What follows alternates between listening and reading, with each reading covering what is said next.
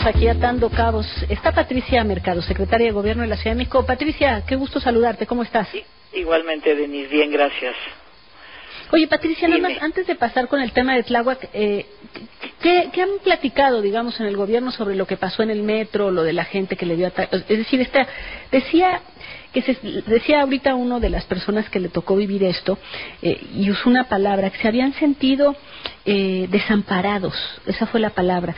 ¿Por, qué, eh, ¿Por qué ni una frase? ¿Lo, ¿Lo has hablado con el director del metro? ¿Qué fue lo que pasó?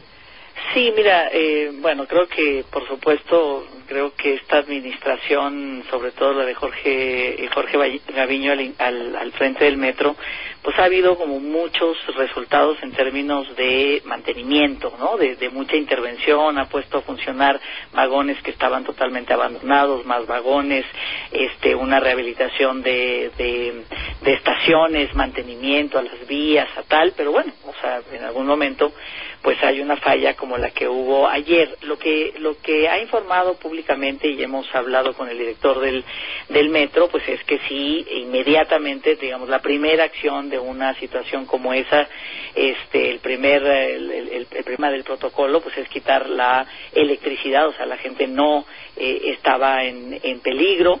Por supuesto, Pero no lo parece que hay, Exacto, me parece que lo que hay que, que responder y él está haciendo pues internamente, digamos, su propia, su propia investigación de por qué tardamos en la respuesta, por qué tardamos un poco que la gente, bueno, claramente dice que eh, pues, se sintió eso, se sintió que nadie le decía qué tenía que hacer, entonces me parece que, bueno, pues tanto el tanto el funcionariado como el sindicato en un diálogo directo, pues por supuesto que darán una una respuesta de qué fue lo que falló ahí para atender inmediatamente en los minutos posteriores y poderle dar dirección a las personas que estaban adentro. Creo que el gobierno toma esta, esta demanda, eh, por supuesto, toma esto que se está diciendo, es sensible a ello y bueno, pues tendremos que mejorar nuestros, por supuesto, nuestros tiempos de respuesta, aunque todo el resto, digamos, del protocolo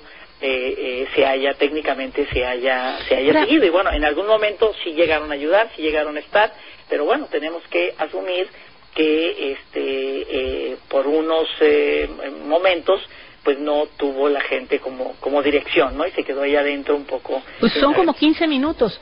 Eh, eh, eh, lo que nos narraba es no son unos, o sea, es como bastante, pero sobre todo lo que nos llama la atención es hasta donde yo entiendo, pues te pueden hablar por el altavoz, es decir, existe un sistema de comunicación en todos los metros, por cierto, existe y, y, en ese nunca no nadie ni el que iba manejando ni el de la estación ni nadie se, se, se refiere, les dice nada en 15, 20 minutos, es impresionante.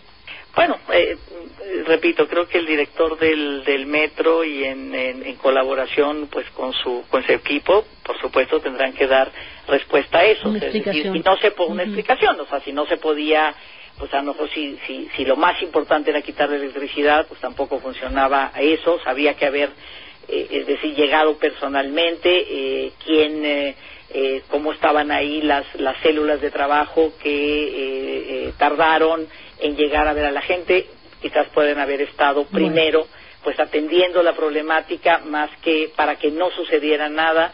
en fin, creo que él está en este análisis en este momento para pues lo vamos a buscar. salir a dar una explicación. Yo creo que él dará esta respuesta y bueno, pues también si no si no es decir, si, si este tiempo no es el tiempo que se tiene eh, pues que se tiene determinado para la respuesta, sino que algo falló en los protocolos humanos de los trabajadores o del funcionariado del metro, bueno, pues también, este, por supuesto, pedir, digamos, dar una explicación y bueno, pues tratar de que esto no vuelva a suceder, ¿no? Cuando sí hay fallas, la cuestión es que podamos responder y ayudar a la gente a que ante una falla no tenga pues no tenga mayor este mayor peligro. Bueno, pues eh, buscaremos al director del metro. Sí, yo eh, pero sí.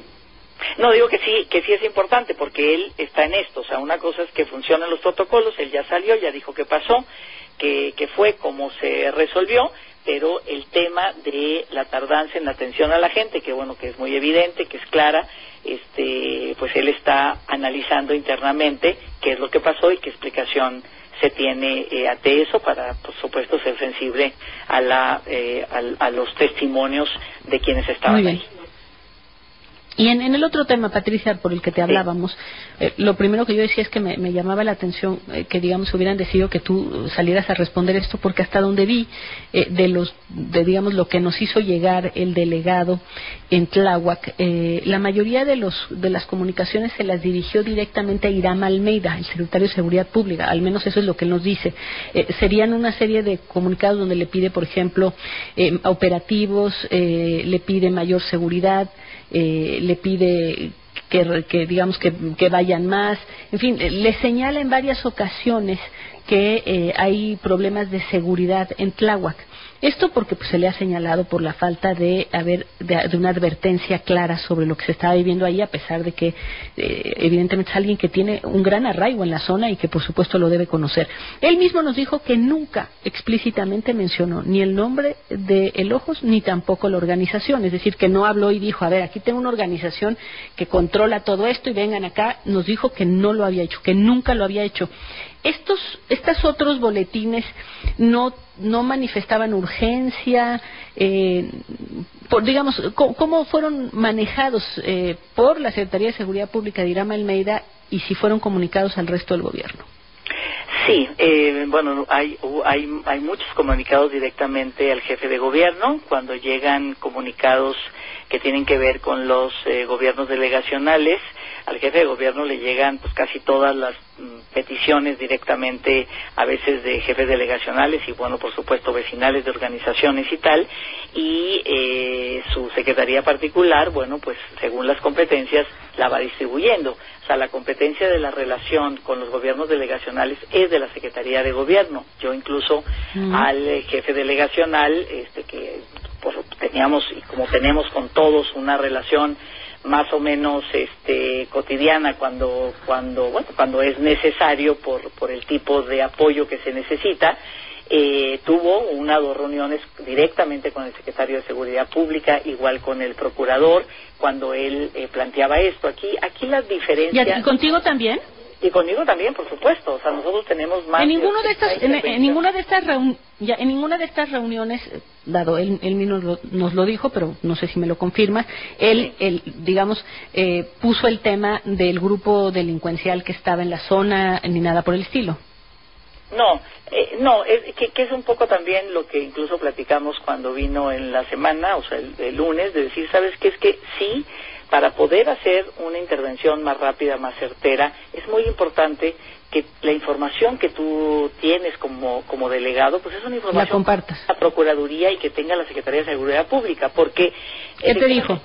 Este, bueno, lo que él, lo que él eh, respondió es que, bueno, que él había mandado estos oficios hablando sobre los temas de, este, de seguridad, no necesariamente vinculando a alguien, porque bueno, pues esa es una responsabilidad en todo caso que de la petición estaba haciendo. Entonces le digo, bueno, tienes razón, pero sin embargo, tú tienes esta información, no es que la publiques, es que la digas a los órganos de, de, de, seguridad, información concreta, porque con la generalidad, pues pasa lo que, lo que realmente está sucediendo, que fue mi segunda respuesta. Tú sabes que sí te hemos respondido, que este año y medio hemos estado en Tláhuac estas son las actividades de la Secretaría de Seguridad Pública. Cuando tú dices aquí en esta colonia hay un problema de seguridad, se han hecho reuniones, el secretario de Seguridad Pública ha sistematizado todas las intervenciones que ha tenido en Tláhuac, digo nosotros también como Secretaría de Gobierno, porque parte de la seguridad no es solamente un tema de seguridad física,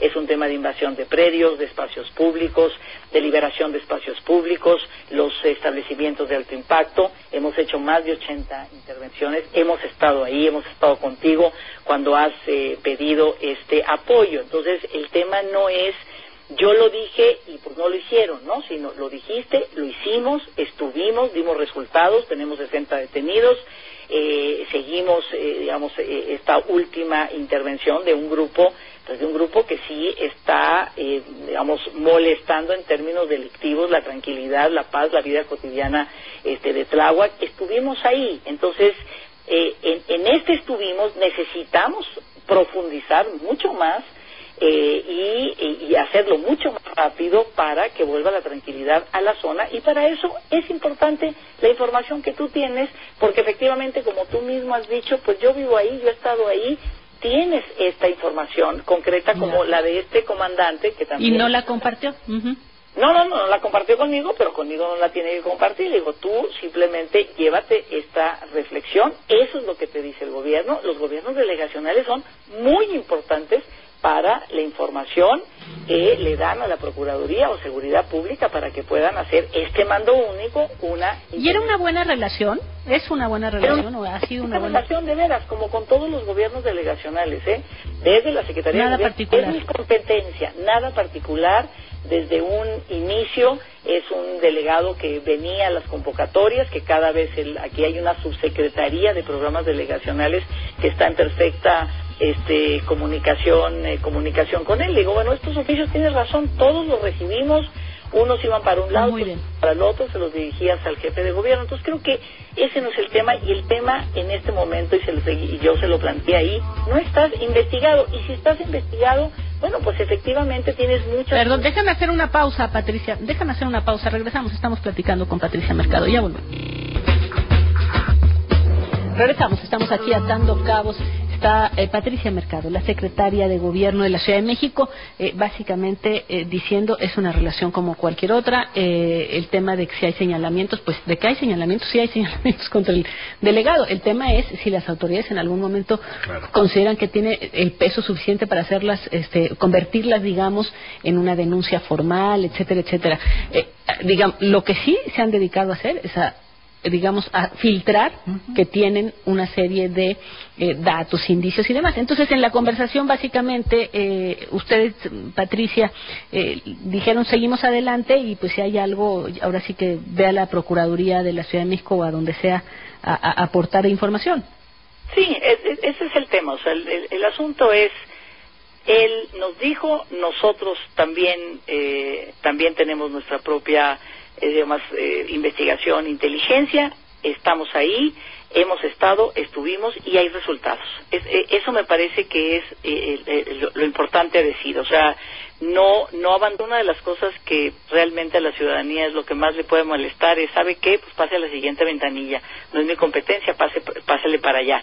Finalmente, si es verdad, tenemos competencias de los gobiernos delegacionales y el gobierno y el gobierno central, pero en estas competencias pues nos corresponde que no el ciudadano vaya a otra a ventanilla, sino a resolvérselo que se resuelva inmediato, y, ¿no? Y eso fue lo que hicimos. Estuvimos ahí, hemos estado el año y medio y hemos dado resultados. Eso es lo que dialogamos con el con el delegado.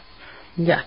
Y bueno, nada más para terminar, había ahí una, nos llamó la atención un, eh, pues el testimonio de un marino que participó porque decía básicamente pues que iban pasando por ahí, les dispararon, ellos respondieron, eh, que parecía completamente contrario a lo que el jefe de gobierno Miguel Ángel Mancera hizo en su declaración, conferencia de prensa la semana pasada, el viernes, diciendo que había sido un operativo largamente planeado, que en fin, que, era algo que se había trabajado durante mucho tiempo. ¿Hay algo que nos quieras decir al respecto?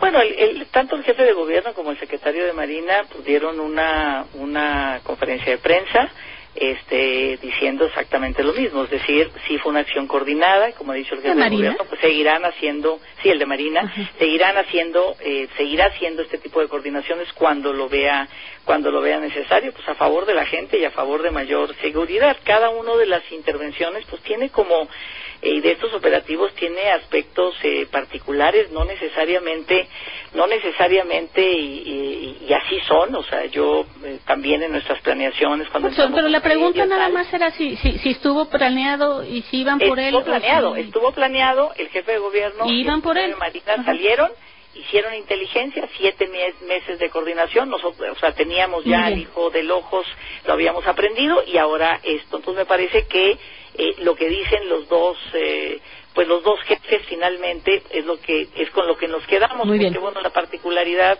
de un marino, pues pudo haber... Eh, no yo no oí, al, yo no oí al, yo la verdad no he oído al, secretario de la Marina, al almirante, yo solo oí en la conferencia de prensa. Ese, día salieron los dos, ese día salieron los dos a hablar de Estaba sentado, estaba el vocero de la Marina. Estaba el vocero, pero habían hablado los dos eh, antes, la Marina sacó un comunicado y, ah, este, y el comunicado iba en el mismo sentido.